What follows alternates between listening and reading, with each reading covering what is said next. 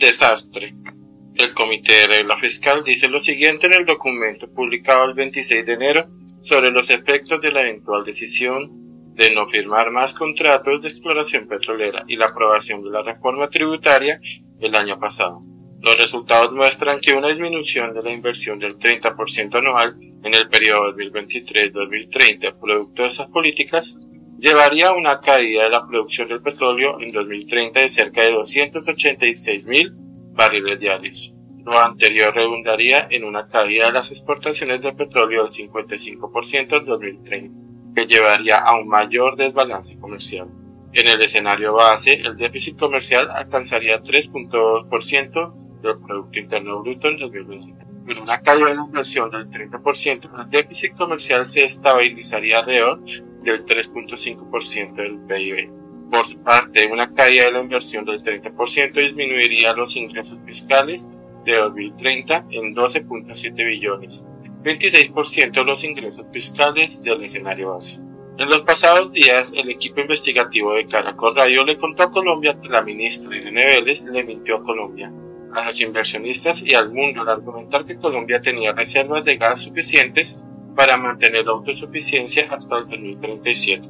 Según técnicos y fuentes consultadas por el equipo de Caracol, las cifras que le soltó la ministra al mundo a través del documento espurio que publicó bajo el perfil oficial del ministerio no son corroborables.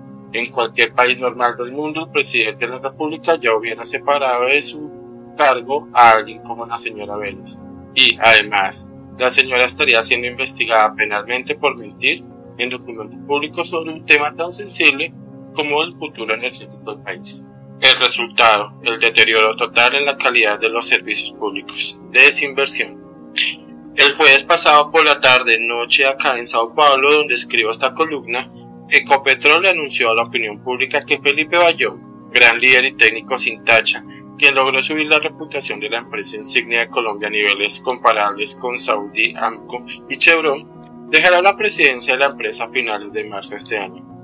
Como argumentaba alguien en alguna red social, quizás alguien tan capaz como Felipe Bayón no podía seguir siendo parte implícita del gobierno de los nadies y de las ancestralidades.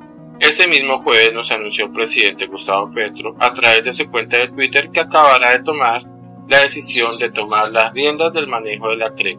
En sus palabras, de acuerdo al artículo 370 de la Constitución, y el 68 de la Ley 142 de 1994 retomó las funciones de control y políticas generales de la Administración de Servicios Públicos que la Presidencia había delegado en las comisiones reguladoras. Temporalmente en defensa del usuario. En castellano, esto significa que ahora en adelante un burócrata sin ningún conocimiento del sector decidirá cuánto pueden cobrar las empresas prestadoras de servicios públicos para así supuestamente defender al usuario. La señora presidente y hoy vicepresidenta argentina, la judicializada por corrupción Cristina Fernández de Kirchner, hizo lo mismo que hoy Petro hace más, hace más de una década. El resultado, deterioro total en la calidad de los servicios públicos, desinversión, apagones, racionamientos, demandas internacionales contra el Estado por incumplimiento de contratos establecidos y una cuenta de subsidios al Estado que alcanza la barbaridad del 5% del Producto Interno más de lo que gasta ese país del sur en educación. Efectivamente, señores, el cambio.